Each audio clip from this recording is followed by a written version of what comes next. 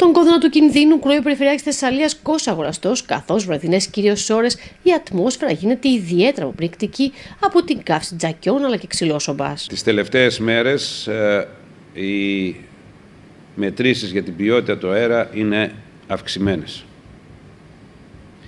Από τους μετρητές τους οποίους έχουμε σε Λάρισα και σε Βόλο βλέπουμε ότι από την ώρα 8 η ώρα το απόγευμα, το βράδυ μέχρι και 2 μετά τα μεσάνυχτα έχουμε πάρα πολύ αυξημένες, ασυνήθιστα αυξημένες μετρήσεις.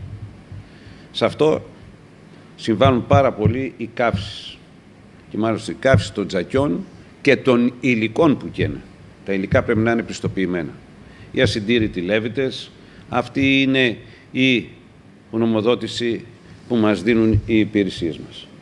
Συνιστούμε να εκείνες τις ώρες να μην ε, αθλούνται στην Ήπεθρο και μάλιστα άνθρωποι οι οποίοι έχουν κάρδιο αγκιακά νοσήματα αλλά και αναπνευστικά. Χρειάζεται να είμαστε πάρα πάρα πολύ προσεκτικοί και να τηρούμε τους κανόνες και τις ε, συμβουλές τις οποίες η υπηρεσία μας περιβάλλοντος ε, δίνει.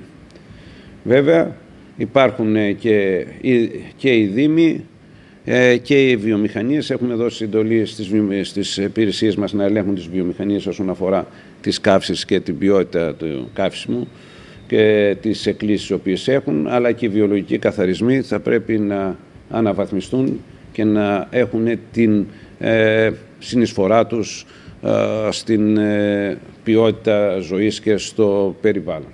Οι καιρικές συνθήκες αλλάζουν με χειμωνιάτικες θερμοκρασίες που θα επικρατήσουν τις επόμενες ημέρες και έτσι υπάρχει ακόμη μεγαλύτερος κίνδυνος η κατάσταση βραδινές ώρες να γίνει ακόμη πιο δύσκολη.